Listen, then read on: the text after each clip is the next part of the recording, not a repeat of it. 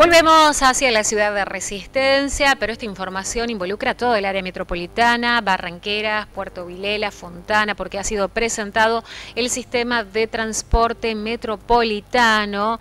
Es un sistema unificado para toda el área metropolitana chaqueña. Nosotros tenemos una meta que en febrero tengamos 200 colectivos nuevos con aire acondicionado, con rampa de discapacidad, que las personas sepan dónde tomarse el colectivo, a qué hora pasa, puedan controlar cuánto tiempo tardan, que sea mucho más moderno, que sea mucho más seguro y sobre todo que viajen mejor. Hoy el sistema es terrible. Eh, tenemos flota del año 2008, más de 15 años eh, colectivos funcionando, en mal estado, sin ningún tipo de accesibilidad para personas con discapacidad, llegando a cualquier hora a las paradas, no teniendo una frecuencia mucho más eh, rápida de la que tenemos hoy.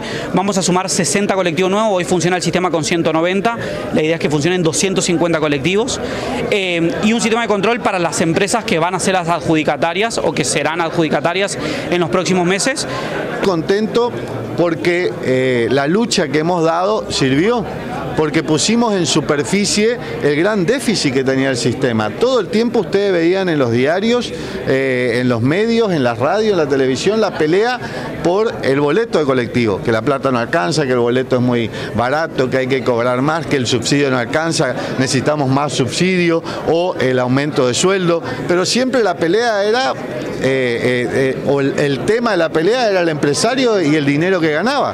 Nunca poníamos en el eje que el problema del transporte público es que la prioridad es el usuario.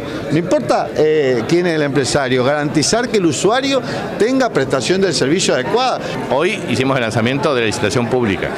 Segundo, esto implicará que en el primer bimestre del año próximo eh, tendremos 200 nuevas unidades. Estas unidades tienen 25% de accesibilidad para personas con discapacidad y 50% eh, de las unidades con aire acondicionado. El total de unidades eh, va a ser equivalente a 250 y en ese contexto nosotros lo que pretendemos es que el, plazo promedio de sostenibilidad de cada unidad sea cuatro años. Hoy es de 10. Cuando nosotros en el año 2008 hicimos una gran reforma, este, logramos comprar todas las unidades y en ese momento cerca de 18 a 20 años era el promedio de unidad por flota. Entonces, lo que nosotros vamos a tener con esto es, vuelvo a insistir, 30% más de kilómetros recorridos, un sistema de optimización en la cobertura de las demandas de usuarios. Eh, tenemos eh, programadas 50 eh, paradas seguras a su vez aplicaciones que nos van a permitir ver dónde viene, a qué hora va, cuál es el mejor recorrido existente y a su vez también nos va a permitir tener eh, una eh, capacidad para eh, tener un sistema de control y monitoreo en tiempo real del comportamiento de cada unidad a los efectos del poder sancionatorio del poder concedente. O sea que estamos para lograr un sistema de muy buena calidad. La verdad que la inversión es sumamente importante en un momento difícil del país, en un momento, en un contexto nacional complicado.